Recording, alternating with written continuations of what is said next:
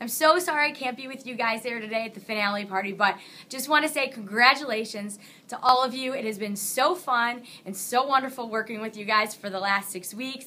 Please, anytime, feel free to email me with any questions, and please keep in touch. See you guys.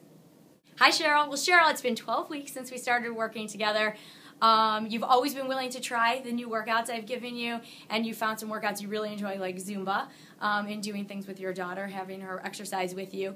Um, your food choices have been incredible, and you've even gone so far now that I know you look up the menus and the food nutritional facts of restaurants before you go out to eat. So keep it up. Great job.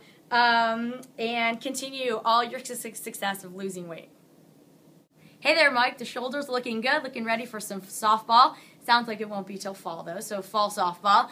Um, you have done such a great job with always a fun, positive outlook and great personality. Um, even making such great food choices, thinking about it while you were at your daughter's graduation and trying to make something, pick something that was was a healthy food choice. So keep it up. Positive energy goes a long way. All right, hey Lynn, bring on the bling jeans. You hit your goal a few weeks ago with hard work, dedication, and a great fun, positive attitude. The 12 weeks we've worked together have been so great and so fun. Keep up with the healthy eating, the try new things, and all your laps around Sunny Lake. Hi, Paul.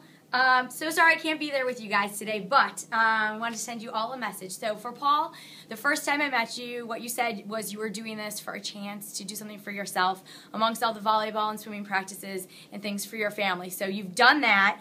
Um, a chance to block out time for your own exercise. You and your wife, I know you eat very healthy and continue to do that. Um, and also make sure that you continue to plan your week so you can continue to ramp up your intensity of your exercise. Great job.